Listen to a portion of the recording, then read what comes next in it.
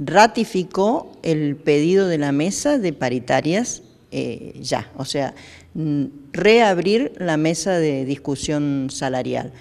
Eh, esto hubo acuerdo, entre todos, este, dijimos, bueno, tenemos una cláusula de revisión para el 29 de septiembre, tenemos que llegar antes de esa fecha con la reapertura de, de las paritarias por, bueno, lo que todo el mundo sabe en cuanto al deterioro de nuestro salario. Y además en esta oportunidad este, se va a solicitar la reactualización de los presupuestos universitarios porque también afectan a los trabajadores y a trabajadores docentes. Por ejemplo, eh, hubieron algunos rectores que visitaron ahí el, lugar donde estábamos realizando el plenario, donde eh, hablaron de la situación del la problemática que tienen cada una de sus universidades,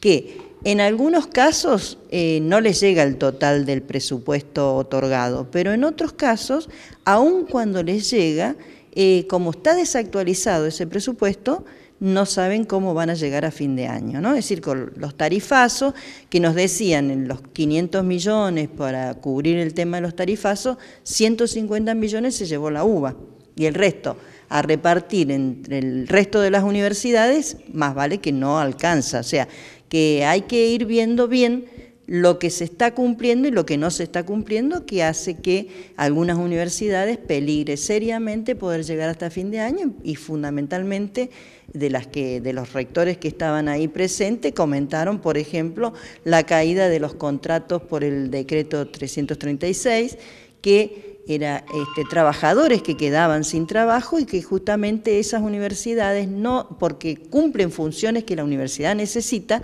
los mantiene, pero no sabe hasta cuándo va a poder mantener esos trabajadores. O sea que por eso es que nosotros lo tomamos, porque son compañeros docentes que se van a quedar sin trabajo por no... Este, una por haber anulado esos convenios, ¿no? Y otra porque no están actualizados los este, presupuestos para las universidades.